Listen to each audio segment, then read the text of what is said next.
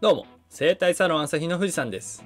本日の動画は食欲を増進させる即死の運動を紹介していきたいと思います。ぜひ最後まで動画をご覧ください。始める前になぜ食欲が増進するかを解説していきたいと思います。この方法は食欲だけでなく体の全ての部分に効果がありますので朝食を食べる前に3から5回やると最高の1日を送れるようになります。現代人は革靴などで足の指が固定され足の指が動きにくい状態になっています。足の指が動かないためにいろいろな病気や不健康の大きな原因となっていると言っても過言ではありません。針やマッサージなどで知られているように足の裏には全身のツボがあります。例えば足の親指は副交感神経に関係し体液を司ります。腎臓喉舌鼻眼球腸などに関係していると言われています。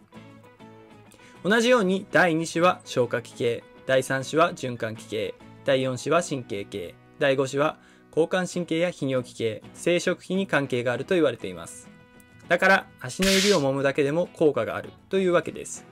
この運動はつま先を立ててお尻を左右に動かすことで体重で足の指を自然にマッサージすることができます。日頃動かしていないので多少痛いと感じますがそれくらいの方が効果があります。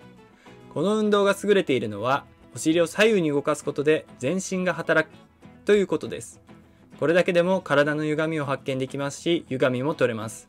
背骨が動くので足の指からの刺激だけでなく胸椎の胃液分泌の神経も刺激されて食欲が増します。ぜひ毎朝食事前に数回やってみてください。それではレッツゴー!行くぞはい。それでは始めていきます。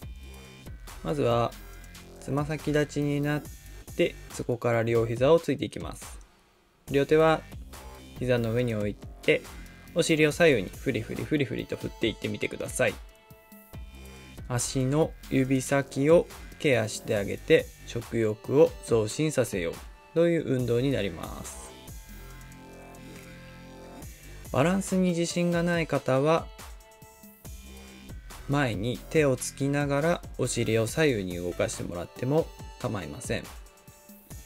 ポイントとしては足の指の真上にかかとが来るっていうぐらいしっかり足指を反らしていきたい。ところがポイントですね。結構ね足の指使ってない人は痛いんですよね。私もこの運動すんごい苦手なんですよね。痛くなってくるんですよね足の指が。ですがすごく効果がありますのでやってみてください。足の指をしっかり使ってお尻を左右に振る。ということによって骨盤の動きやすい方向あとは背骨の動きも伴いますので体の歪みもどんどん整ってくる運動です。ご飯を食べる前に3回から5回ぐらいやってほしい運動の一つになっています。最後にチャレンジポーズとして両方のつま先を立てて膝を浮かせてお尻を左右に動かしてみましょう。転ばないように気をつけてください。これが一番足指にしっかりと働きかけられるポジションになるかなというふうに思います。つま先をしっかり立ててかかとをつま先の上に置くっていうところがポイントですね。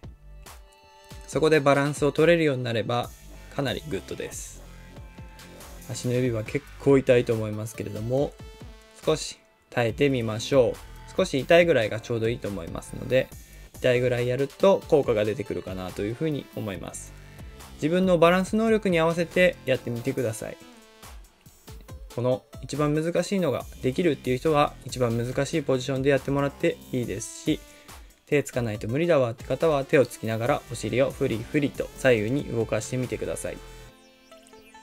本当に自分の体の状態に合わせてながらやってみてください。で一度休憩して本日の運動は終了になります。頑張ったね。はい運動お疲れ様でした。簡単にできる運動ですので食事前にやってみて食欲の違いを感じてみてください胃液も分泌されやすくなりますので食べたものをしっかり消化してくれるので便秘のある人にも効果的な運動だと思います普段あまり足を使っていない人は足が痛いと感じたのではないでしょうか。たくさんやる必要もないので足指のケアにお役立てください。やっていると痛みもどんどんなくなってきますので毎日継続して3週間は続けてみてください。皆さんの即死のケアにお役立ていただければいいと思います。